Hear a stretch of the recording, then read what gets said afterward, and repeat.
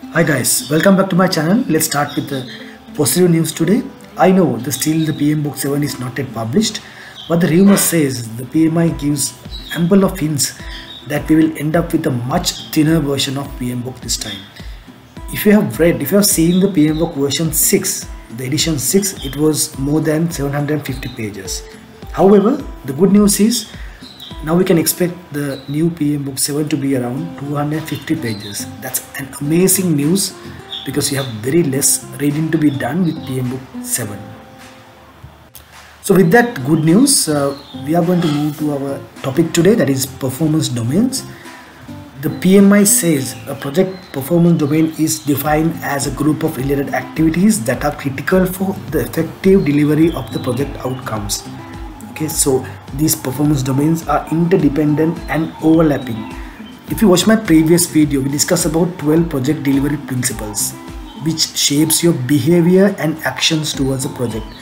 In this the eight project management performance domains are areas of focus on the project.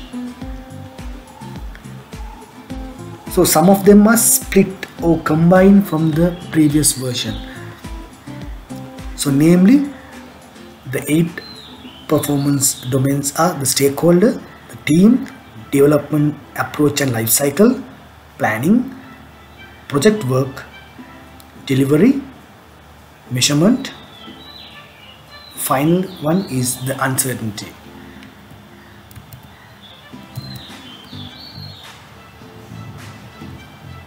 So before we go into more in detail into each performance domains, performance domains focus on outcomes, not outputs. If you recall the PMBOK 6th edition, we were discussing about the processes and the outputs, not the outcomes. First to start up with the stakeholder performance domain.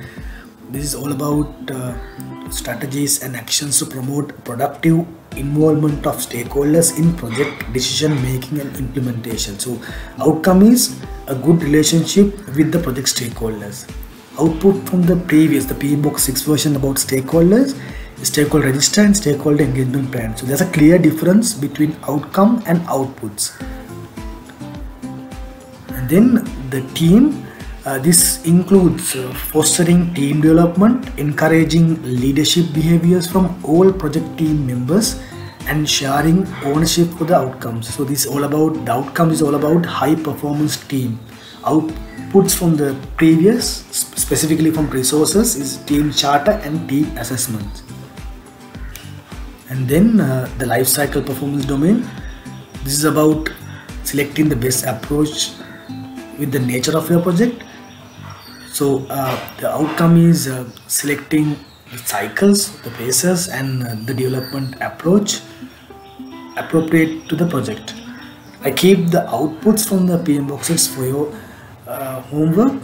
Try to comment what do you think that uh, the outputs from PMBOK 6 under life cycle approach. That the planning, planning address the activities and functions associated with the initial, ongoing and evolving organization and coordination necessary for delivering the project deliverables and outcomes. So application suitable amount of planning at the correct time is the key out outcomes. Output from uh, PMBOK is all about the sub plans that you all worked in. And with that, the project performance domain address activities and functions associated with establishing project processes, managing physical resources, and fostering the learning environment. The outcomes is making sure um, enabling the team to deliver. So, if you recall, the outputs from PMBOK 6 is all about the project reports. With that, we move to the next one delivery performance domain. It's all about addressing the activities functions associated with the delivering the scope and the quality that the project was undertaken to achieve. So delivering the value of the project is the main out outcome. The outputs in the previous PMBOKs is all about the deliverables which you hand over to the customer. With that we move to the next one the measurements.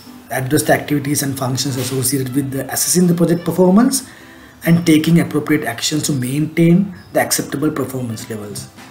So outcomes is tracking project performance to make sure they are intact with the project goals. If you recall from PMBOK 6, it's all about the quality measurements, we measure the performance uh, with the quality against the quality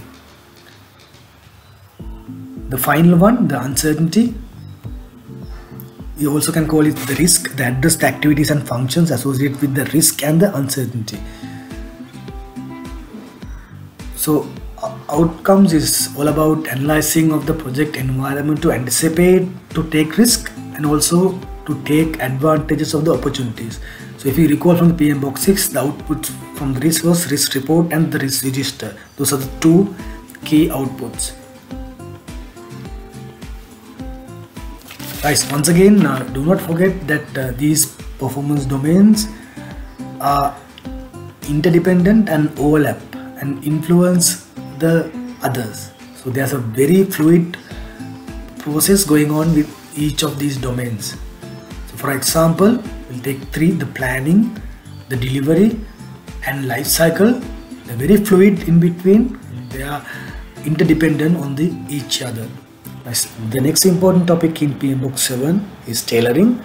I'll be doing another video separately for tailoring because tailoring is a vast area. need to have more discussion on that.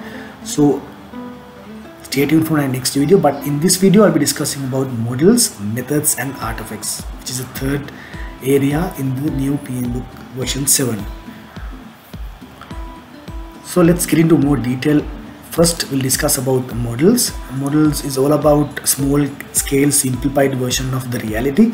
So the leadership models, the communication model, the change management model, or uh, the risk response model. You can create various models how you will be performing your project in the execution stages. With that we move methods.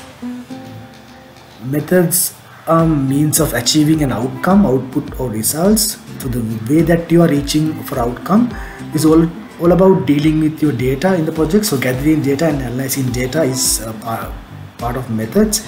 So the make or buy analysis, the forecast, uh, forecasting cost or the schedule are very good examples for methods and then the final one the artifacts uh, the templates documents outputs or the deliverables are artifacts and the business case the logs the risk register the, all the plans are very good examples for artifacts. So guys with that i'm going to wrap up my video. Make sure you subscribe to my channel if you like the content.